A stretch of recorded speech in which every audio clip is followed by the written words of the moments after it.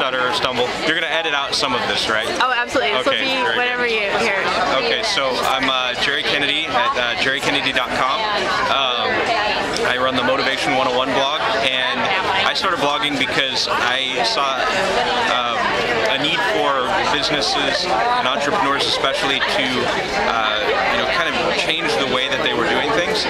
Um, instead of following a traditional corporate model that's you know really kind of not worked for uh, our economy in particular, that there was a time for you know some new thinking, uh, some unconventional thinking to kind of get outside the box and start really getting creative with the way uh, that we do business.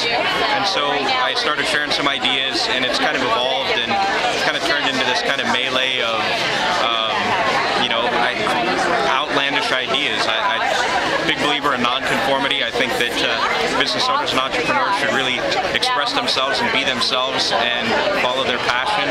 Um, and I know that sounds kind of hokey sometimes, but uh,